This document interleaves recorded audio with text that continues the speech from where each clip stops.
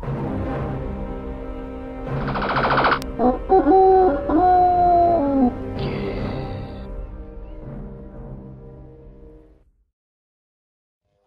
folks, it's Nick here, and I'm coming at you with a real stinker. It's uh, Crazy Cars on the Commodore Amiga, published by Titus Software in 1988.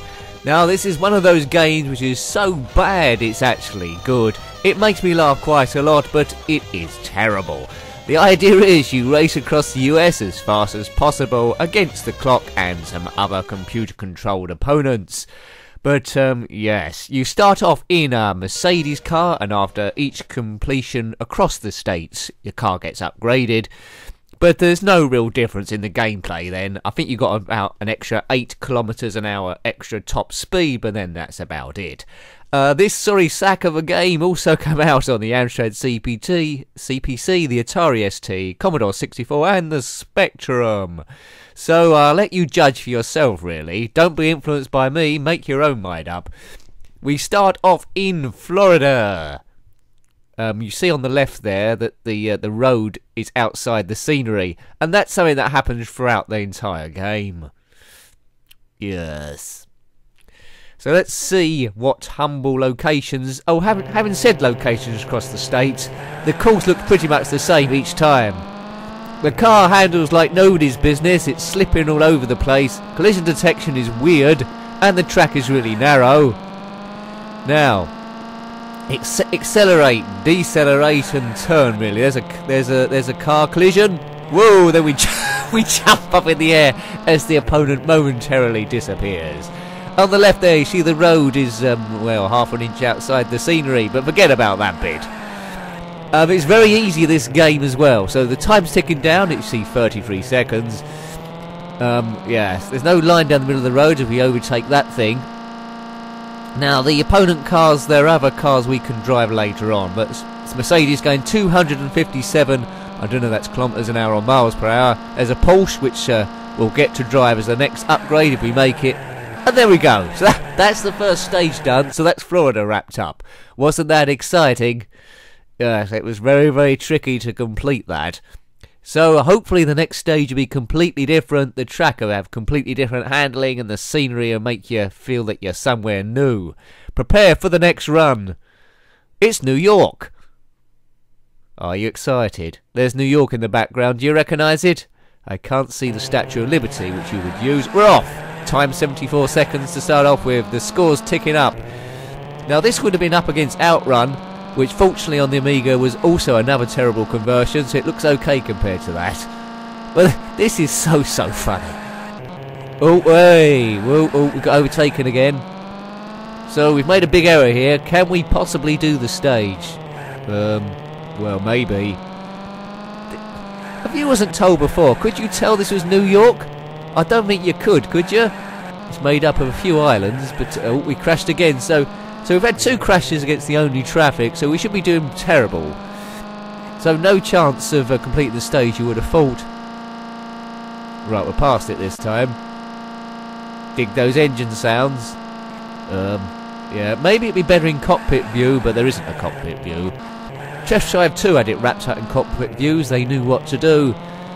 Yes. This game also had a couple of sequels. Oh, we've done it. Well done.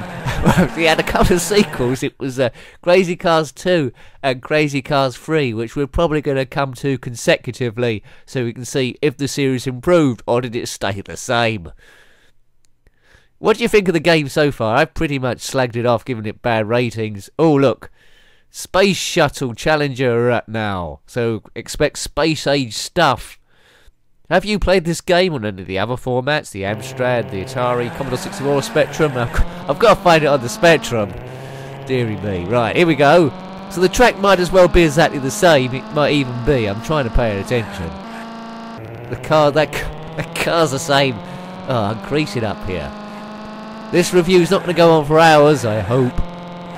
But it's fun, isn't it? It's, it's amazing what these retro games sometimes uh, pick up.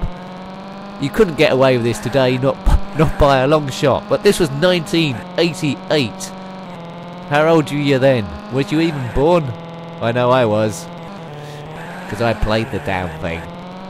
Might have got this as a present, I don't know. I don't know the person liked me or not. but yeah, yeah, this is this is amazing. The car, you might as well be controlling the car with a mouse. It slips like an arrow pointer. No real, no real grip or feeling to the road at all. Oh, we've done it again! Hooray! It's one of those games where, you know, you're playing it and you hope not to qualify. You hope to the game to end, but you just keep going through. I think you'd have to park the car for about four minutes to not actually do this game. Right, prepare for the next race. I don't know why it's having this long a load time because nothing's actually loading. Right, mountain challenge.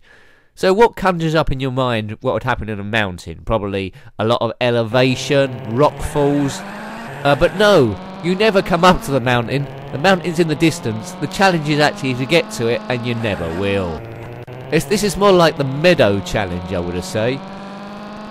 Right, look out for mountains. Let me know if you see any. Um, no, there's no mountains here, mate. Boo, boo, boo. Right, there's a blue Porsche, which we'll be driving at some point. If if we can keep awake enough. There's a good overtaking manoeuvre there. Easy peasy. What more can I say about this? I don't know. The grass is well done, isn't it? Look at that. It does look like proper grass at speed. So they've done well there. Um, um, the frame rate is, well, it's okay, isn't it? Uh, the sky, they've chosen for a gradient on the sky there. I don't, not sure that works. But anyway, it grades up into space in various colours. Oh, we've, we've done it again. As we slowly approach the highest score. So it's a bit torturous, this one. I don't know how many more stages we got to do until we're across the whole of the states. Now we're in the desert, Arizona, and it's just exactly the same as the grass, but this time in brown. So the car won't overheat. You've noticed there's no gears to go through, it's automatic, so that's the skill there. So there is no skill really. There's no skill involved. There's no skill involved in this. If you're someone that owned this game and never got off stage one, then I don't know what you was doing. You're either an alcoholic or just plain stupid. Well, we're past that Porsche again. No oncoming traffic at all. Am I being too harsh on this game? I don't know. I've said some good bits about it, haven't I? It does make me laugh. I don't know what that thing was. I think that white car is something you get at the end once you've completed this, the stage challenge about ten times or something. But who's going to do this even four times, even twice, even once? Just me, and I, I've got to do it because of the review. Have you played the sequels, Crazy Car 2 and Crazy Car 3? What am I to expect different from those ones? Was that by Titus Software as well, or did a new outfit do it? It's, it seems like a game you could code in an afternoon from scratch. I think it, I think the um the challenge ends up in Vegas. It might be that next. Oh no, Malibu now. I fancy a cocktail. Start. It says start, but it never says finish, does it? This looks a bit like the mountain stage, does it not?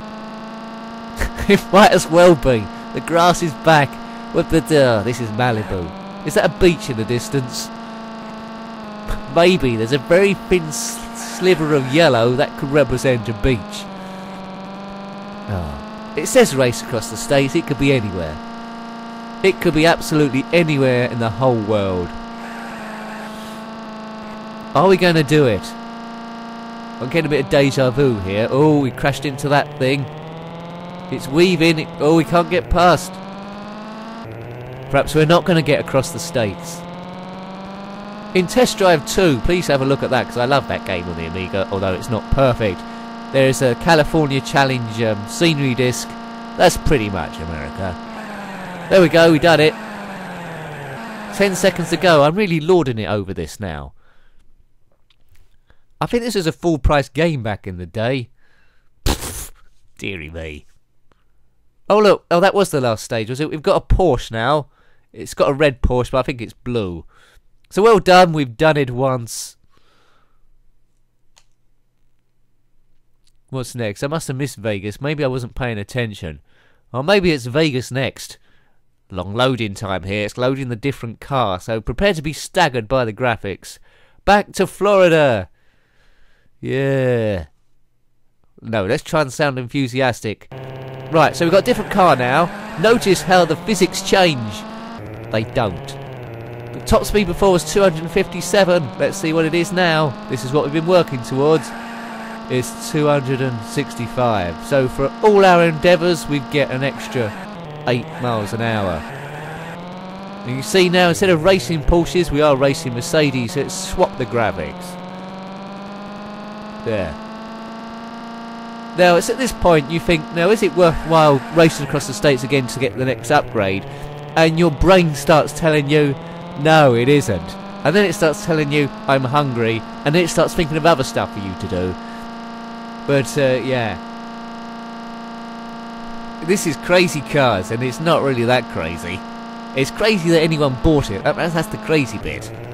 But it's a laugh. It's one player. There's no two-player mode because convincing two people to play this at the same time would just be way too difficult. I think uh, I think we might end it here. You know, I think we will. Yes, so that was been Crazy Cars by Titus Software from 1988. I hope you liked having a look at that one as we are tempted by New York again. Thanks for watching as always. Until next time, goodbye. Goodbye.